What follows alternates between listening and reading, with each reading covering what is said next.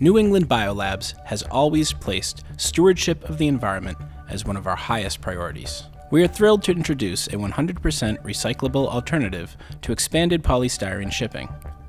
This new shipper maintains the same cold chain temperature requirements as styrofoam, which is critical for maintaining product integrity. It also supports our goal of minimizing our impact on the environment. To implement this, we've partnered with a company called TemperPack, who focus on providing sustainable solutions for cold chain shipping. We solve the world's packaging problems through sustainable design.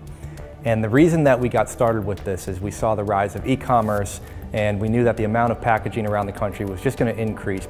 And that's okay for things like t-shirts or cell phones, but when it comes to perishable items, there weren't a lot of materials out there other than styrofoam. There's got to be a better way to come up with a material that's bio-based, um, that has a good end of life, that can be substituted in for these outdated materials. Cold chain shipping is extremely complex. It's basically a balancing act between three things. You want to make sure that the product gets there uh, safely at the right temperature. You also want to make sure that it is affordable um, to your company. And then third, which is really new on the scene but very important to a rising amount of uh, companies, is you want to make sure you're doing that in a very environmentally friendly way.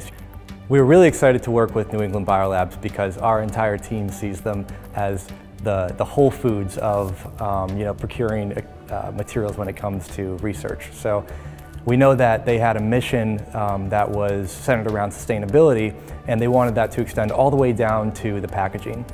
The ClimaCell liner is designed specifically for thermal protection. It is designed with thousands of tiny air pockets throughout the material designed to trap air and prevent heat from moving into the package. It is semi-rigid, weight-bearing, and has 90 degree hinges all for easy assembly. The inside of the liner is made primarily of starch and paper, and it is encapsulated in a kraft paper to provide additional moisture protection during shipment. And at the end of life, it's the only solution that's certified curbside recyclable, so the end user can then put it into the blue bin with the rest of their cardboard, and um, it will get recycled. For more information, visit us online at neb.com forward slash shipping box.